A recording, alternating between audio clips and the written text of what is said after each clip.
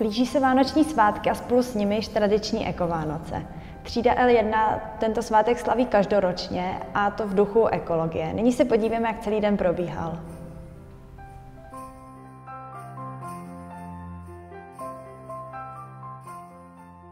Tak jako první jsme si posílali svíčku a každý jsme říkali, co jsme prožili v roce 2016 a co očekáváme od roku 2017.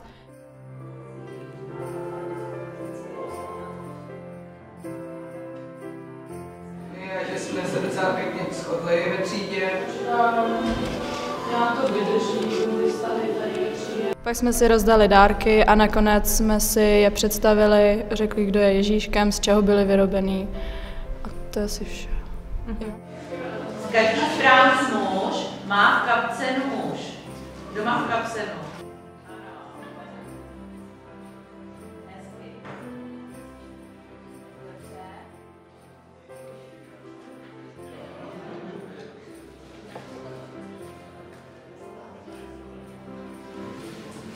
Tak pak se nějak osoba.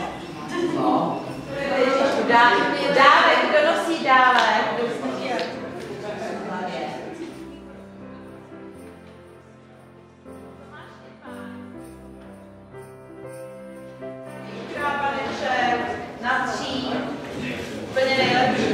Ježíšku. Ano.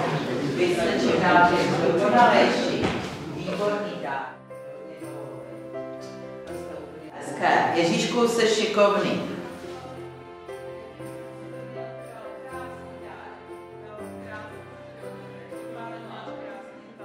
Wow. Je to je dobrý. Sněhulák, no ten je krásný, zvedni ho, ten je hezký. Wow, to je hezké. Postav se zoru, aby mě zajímalo, na čem jsou ty eh, větvičky napíchnuté. Vidíte, je to nádherná ozdoba. Tak poděkuji Ježíškovi.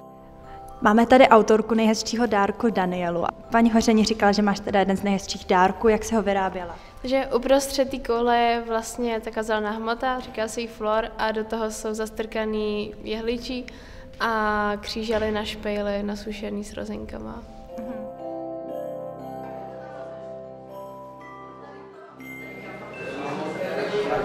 A zapili jste to nějak? Jo, nápojem z raketníků.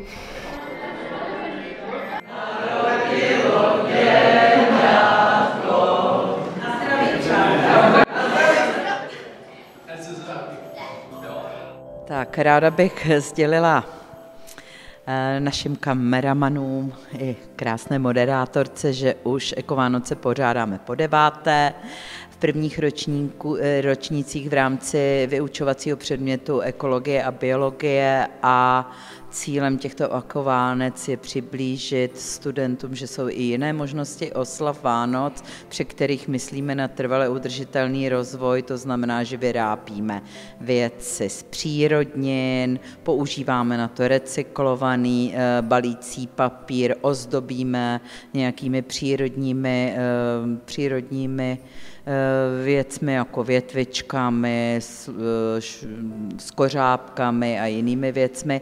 A zajímavé na tom je ten vlastní proces, kdy si studenti vyberou někoho, komu připraví nějaký hezký dárek a stra- budou asi tak měsíc na něm pracovat. Někdo vyrobí marmeládku, jedný vyrobí svůj vlastní med, někdo vyrobí úžasné vánoční dekorace, tak je na tom hezké to obdarovávání a také získávání nových přátel.